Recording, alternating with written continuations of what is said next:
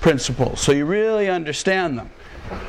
And so when you mix in other stuff, not necessarily getting the full flavor of the particular thing. Now, of course, when you really do a randori, we don't just use one principle, obviously. So it's a matter of being able to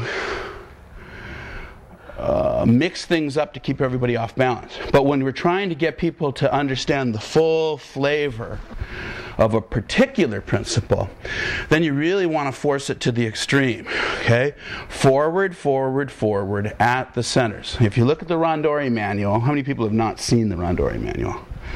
If you look at the Randori manual, talk about working the centers being the most uh, aggressive it's where you're. It's really a good a good randori where you're working the centers effectively is not three people attacking one. It's one person attacking three.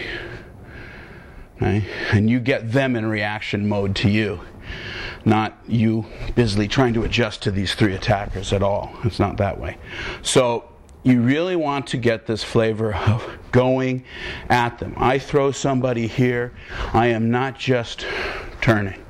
I've already picked my person and I am stepping to them. Okay? Now, it is the most energy intensive. When we get to work in the spaces, you'll see how, how different it feels because on this one, you're doing a lot of work. You are moving at them and throwing them. Okay? So, next person come up and really go at them. We can keep it at a medium speed, We're not get everybody blown out, but it should have that same flavor of attack, attack, attack. Right?